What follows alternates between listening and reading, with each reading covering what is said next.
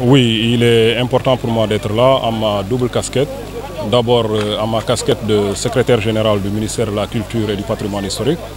qui a donc euh, ministère qui a en charge tout ce qui touche donc à notre patrimoine. Et le Boukout est un des éléments de notre culture, mais surtout de notre patrimoine. En ce sens donc euh, qu'il contribue à la perpétuation des valeurs culturelles,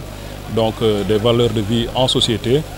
de transmission donc des connaissances et des savoirs entre générations et de consolidation donc des relations entre les peuples donc euh, Diola.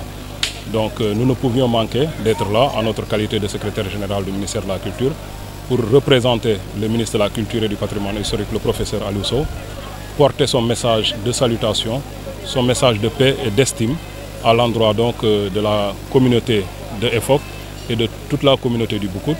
pour leur rappeler donc l'importance que l'État du Sénégal accorde donc à tout ce qui touche au patrimoine, aux valeurs et au vivre ensemble. Mais également je suis là en ma qualité également de natif du terroir parce que je suis de Oussouy et je suis également du peuple du Boukout et je ne pouvais manquer donc une occasion comme celle-là de venir communier donc avec euh, ces jeunes initiés là et à côté de tous ces aînés qu'on appelle Adjankerou donc euh, pour signifier ceux qui ont déjà fait donc le Boukout participer donc à la formation de tous ces jeunes initiés. Nous sommes donc venus en délégation conduite par moi le secrétaire général et composée du directeur de la cinématographie et du directeur du patrimoine historique. Ensemble, nous sommes venus donc apporter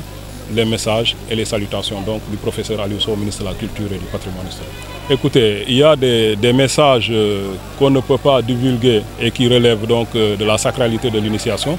Mais ce que je peux dire, c'est que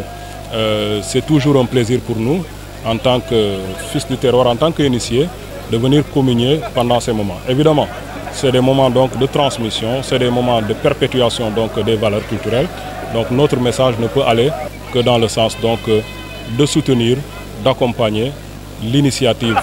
consistant donc à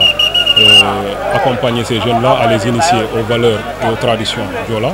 Comme d'ailleurs on le constate dans beaucoup d'autres cultures, hein, il y a des rites initiatiques qui sont là